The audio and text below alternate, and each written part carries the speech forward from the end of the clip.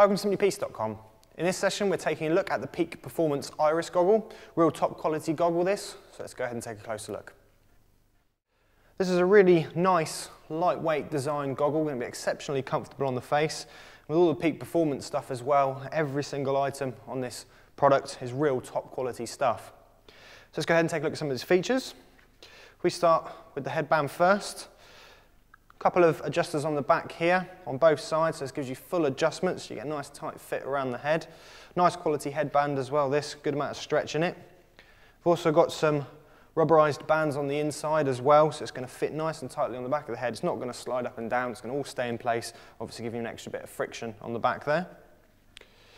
Where the headband meets the goggle, it's just fed through the actual frame itself. This gives a nice wide fit on here. Also gives you a good amount of articulation with a real simple design. So they've really thought long and hard about that. The frame itself, slightly rubberized kind of feel to it. So it's going to be nice and protected. Good amount of flex in there as well. So it's going to be able to curve to the contours of your face nicely.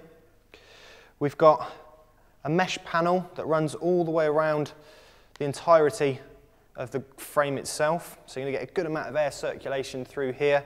Peak Performance is saying that it's never going to fog up, even with a change in temperature. It's always going to stay nice and clear, so it's going to give you great visibility.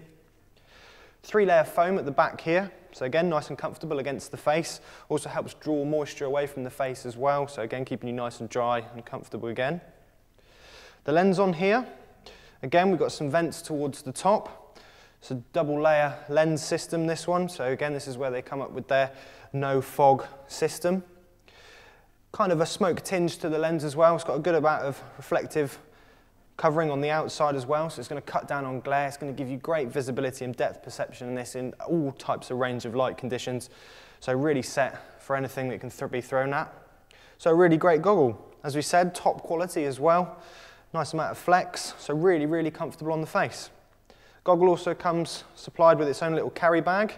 So obviously makes a great goggle wipe. You can also pop it inside the bag when not in use to keep it nicely protected. So a fantastic goggle. In reality, real great value for money.